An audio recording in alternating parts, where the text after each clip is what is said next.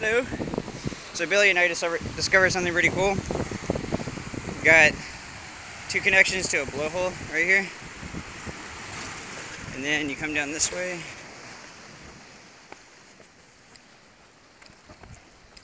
Turns into this.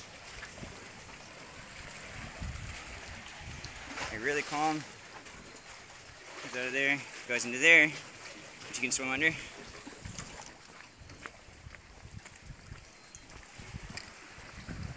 And it comes out to here. And then it keeps going. you can swim under everything.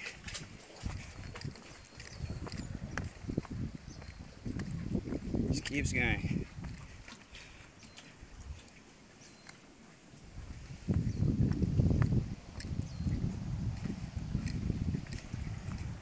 Six swimming spots.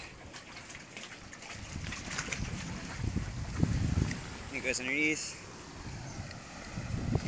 And it drains back this way.